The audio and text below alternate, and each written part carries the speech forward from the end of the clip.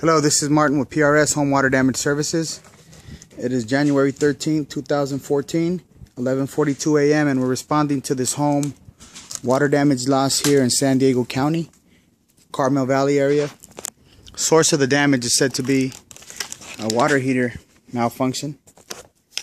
We'll go inspect the property now to document the source of the damage and also the resulting damage from the water. We're now in the garage and as you will see, this is the water heater that has malfunctioned and caused a flood in the home. You can see the visible water staining here. This is all very wet. You can also see that I've already marked this wall. Uh, the water stops here. And it's still wet here, so the water goes up at an angle here.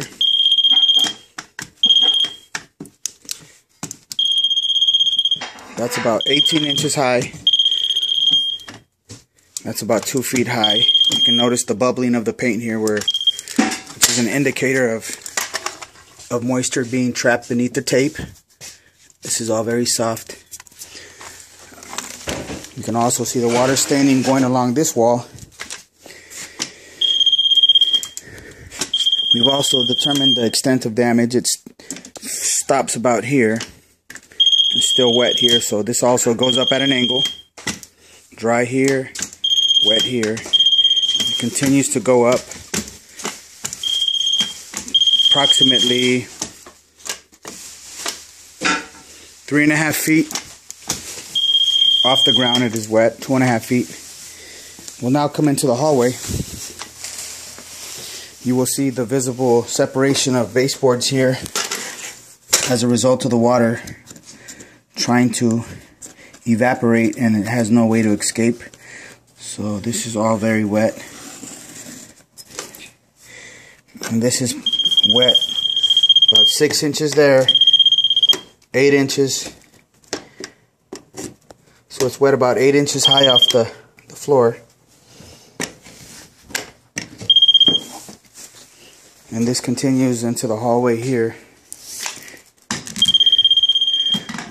It's about eight inches high. It continues on near the entrance of the living room. You can see the separation once again here, which is an indicator of water beneath it trying to, the vapors trying to escape, but it expands, so there's moisture throughout this affected area. These baseboards also separated on their own as a result of the, the water. This is the other side of the hallway.